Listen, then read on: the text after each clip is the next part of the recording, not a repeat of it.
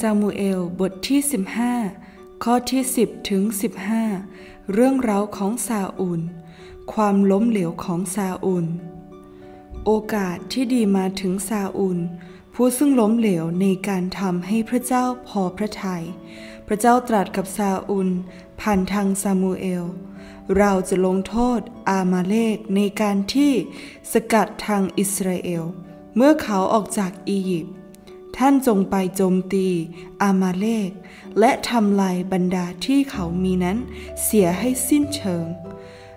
อย่าปราณีเขาเลย จงฆ่าเสียทั้งผู้ชายและผู้หญิง ทั้งทารกและเด็กที่กินนมอยู่ ทั้งโค แกะ อูดและลา รวบรวมทหารที่นั่นได้มากกว่า 2 1 0 0 0 0นาย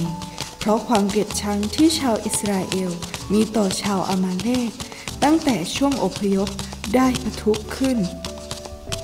ซาอุลและกองทัพของเขาเอาชนะชาวอามาเลกจากดินแดนอิสราเอล จนถึงทางเข้าอียิปต์ชัยชนะเกิดจากพระบัญชาและความช่วยเหลือของพระเจ้า ไม่ใช่ขนาดของกองทัพ ซาอูลต้องการแสดงความสามารถของตนเองในฐานะกษัตริย์ และผู้นำทหาร เนื่องจากโยนาธานเป็นผู้ที่ได้นำชัยชนะครั้งใหญ่ต่อชาวฟิลิสเตีย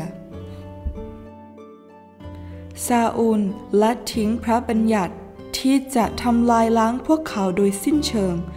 เขาไว้ชีวิตอากากกษัตริย์แห่งอามาเลกเพื่ออวด ว้าว ดูสิ ข้าจับกษัตริย์ศัตรูเป็นเฉลย ผู้คนต่างชื่นชมยินดี ซาอุลยังละเว้น ฝูงสัตว์ที่ดีที่สุด ซึ่งขัดต่อพระบัญชาของพระเจ้า ดูสิข้ากำลังแจกจ่ายของขวัญที่ดีเหล่านี้ให้กับผู้คน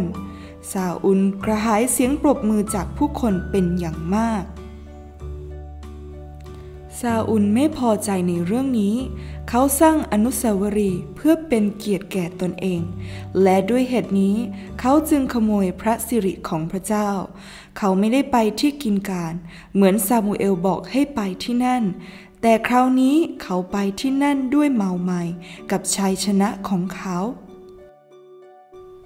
พระเจ้าทรงเสียพระทัยที่ทรงตั้งซาอุลเป็นกษัตริย์ เพราะเขาไม่เชื่อฟัง